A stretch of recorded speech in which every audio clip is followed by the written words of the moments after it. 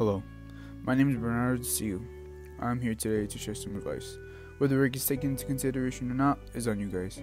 Coming into high school, I didn't know what to expect, but I knew that it would fly by in the blink of an eye. And to my expectation, that's exactly how it felt. I didn't realize the opportunities that faced me because throughout my years, all I was thinking of was pushing through the year to move on to the next, which was a mistake I wish I could take back, but can't. It isn't necessarily bad because even though I may not have participated in many extracurriculars, I did meet some pretty great people. And essentially, I feel that is what makes high school so great. Not what we are involved in, but the people you share those moments with. That is what I believe should be valued. My advice is to have an open mind and always be positive because then you can attract good energy and that can lead to good things. I have my parents to thank for always being my number one supporters, no matter the situation. I appreciate them so much for that. And on another note, I have my friends to thank. Without them, I don't even think I would be the person I am today. I truly appreciate every single one of you, and I wish you guys nothing but good fortune moving forward.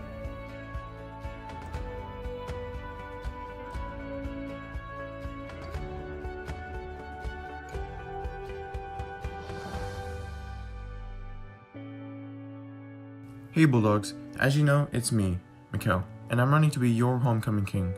Of course, not everyone knows me, so let me tell you a little bit about myself. My name is Mikkel Aquiles Escobar, and I made lots of memories here at West Covina High School.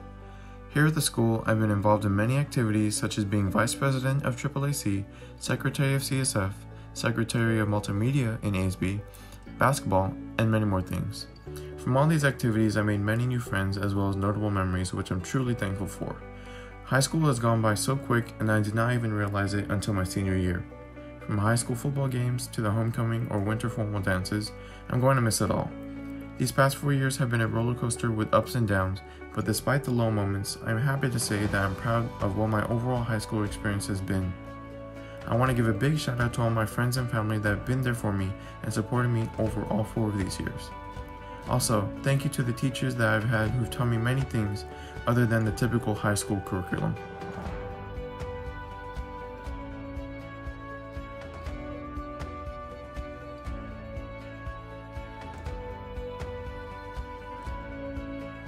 When I first stepped foot onto the West Covina High School campus, I felt at home. That was no surprise considering my family chose West Covina as their home since we immigrated here from Vietnam 17 years ago. From joining choir and leadership my first year in high school to being taken out at the end of the year from a life threatening heart surgery, this experience has truly been like no other. Because of West Covina High School, I know what it takes to enact change and bring generosity and compassion with every decision I make. And because of West Covina High School, I've had an immense amount of opportunities to further my education using the resources at this school to receive a full ride Questbridge scholarship to Claremont McKenna College. But whether I'm in Claremont for the next four years or across the country, it is without a doubt that what I have learned from West Covina has pushed me on a path leading to the rest of my life. The city is my heart, and the school is the blood that pumps through it. So, melodrama aside, I know this year has been tough, especially for seniors, but we're going to get through it and be stronger than we were before. Thank you guys.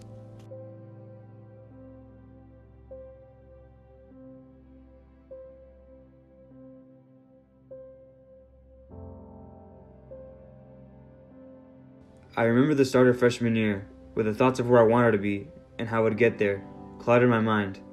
It was when I let go of the past, stopped trying to predict the overwhelming future, and built a present vision that my true ambitions fell into place.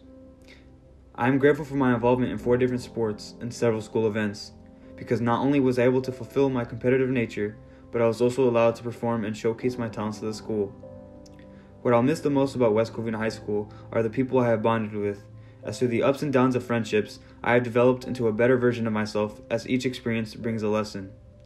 Given that high school was a learning ground, I am thankful for the wisdom it brought. First, I'd like to thank God for guiding me through another chapter of my life. Another shout out to my family for supporting me and caring for me.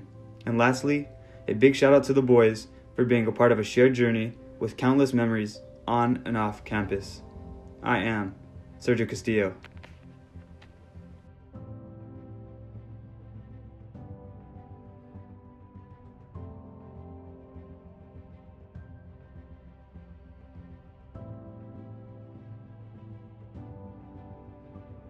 Yo, what's up, Bulldogs? It's Randy, and I'm ready to be your homecoming king.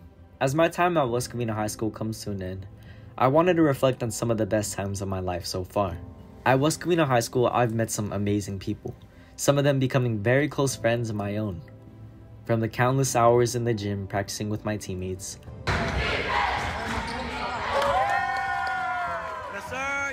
or even the late night workshops with ASB, these experiences I will never forget. I'll never forget all of the club meetings and small club events that I've been a part of on campus. CSF, SAFE, NEHS, and more. And most importantly, I'll never forget the little moments that made high school great, like the daily conversations with my friends at lunch. Although there's been ups and downs, I'm proud of my high school experience. With that being said, thank you to everyone who made my high school experience something to not only remember, but to cherish. From friends to the staff and teachers, I appreciate you all.